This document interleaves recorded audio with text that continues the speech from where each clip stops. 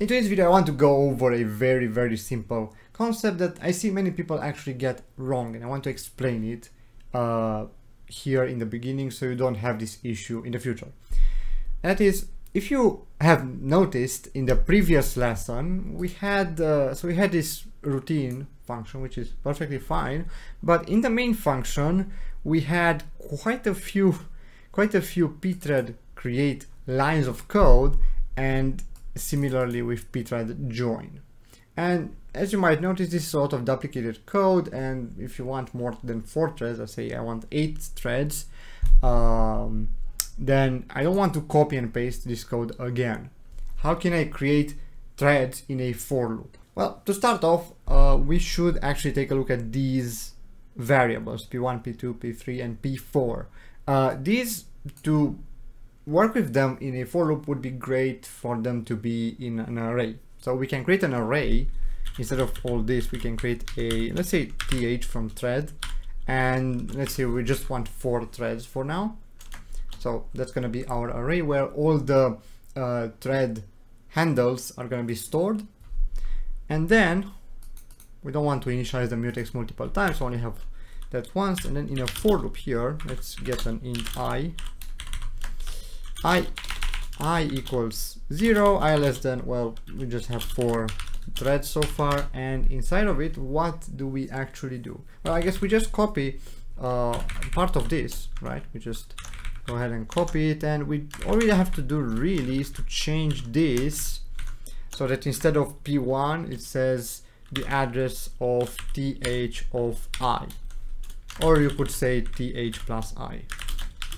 That is really the same thing Okay, so creating the thread has been taken care of. We are creating four threads using this simple for loop. We can remove these altogether, that's fine. So now that we have created the threads, we can just simply call join in the same for loop, right? So if we copy and paste, for example, this one, and well, we format it, and instead of p1 here, we have to give it the actual value. So in this case, we gave it the address to where we are going to store the handle, but here we can just give it the value, which means we just need to say th of i in square brackets. And I can return here too, because we don't need anything else. And that should be that. If we remove all this and we try to execute it, it looks fine, right? So if I try to execute this, we're gonna get 40 million as a result. So that's the expected result because what? We have four threads and we have incremented uh, this 40 million times.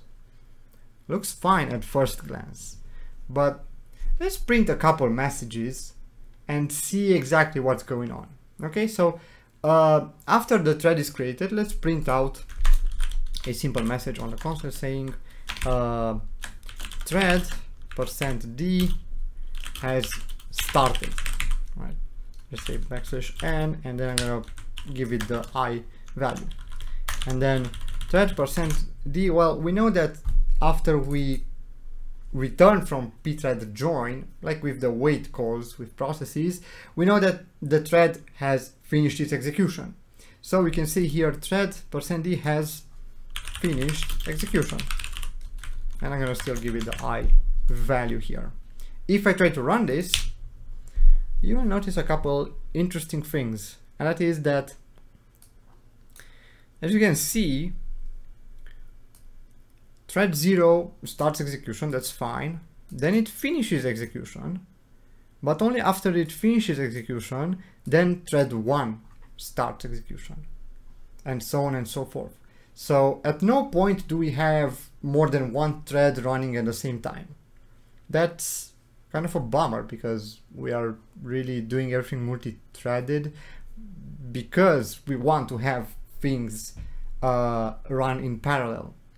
But in this case, we are not. And what's what's the issue? What's what's up? Why is it that whenever we only when we finish the execution of a thread do we get to start the other one? That has to do with the way the for loop works here right? It's just our logic that we have created here. We are, well, for the for i equals zero, we are creating the first thread right? And then we are also joining it, right? So the first thread gets created, then it the system waits for that thread to finish its execution using pthread join, and then only then the second thread can start its execution because that's just how the for loop goes. So this is exactly not the way to create uh, threads in a for loop. Okay, so you shouldn't both create or call pthread create and pthread join in the same for loop. That way you're gonna have basically sequential execution. Basically, you're gonna only have one thread executing at a time and that would mean you might as well not even use threads. The correct way of doing it is to create another for loop after you have created all the threads. So another for loop that starts at 0 and ends at 4, so that's the same exact uh, definition for the for loop here, but we have only the join uh, instruction in it.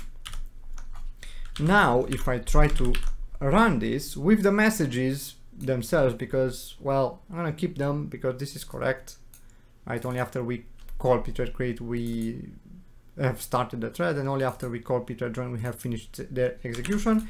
If you try to launch this, you will notice that all of a sudden things are starting in parallel. So uh, it says four threads have started their execution, so at the same time all four are firing, and then more or less the same time all four are being joined, are being, well, they finish their execution.